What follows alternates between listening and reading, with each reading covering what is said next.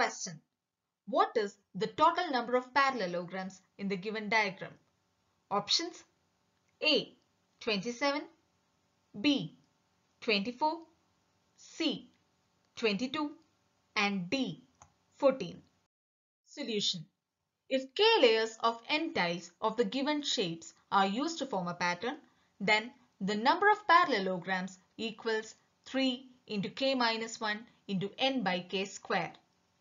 Here, there are two layers of 6 tiles each.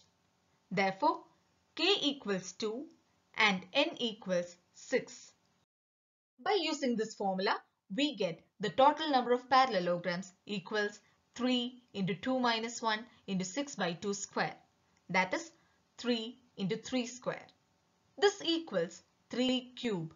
That is 27. As an alternate solution, you can count the number of parallelograms if the formula is unknown. Once you count 25, you can finalize the answer as 27 as it is the only option above 25. Thus, the right answer to the question is option A. Hope you all like this video. For more videos and update on the upcoming free classes, you can be part of our WhatsApp group and Telegram group. To be part of the WhatsApp group, you can just text to this number and to be part of the Telegram group and Telegram channel, you can just search Christy's classes in Telegram. In the Telegram group, daily live free quizzes happen at 9 pm on general aptitude. You can be part of that quiz also.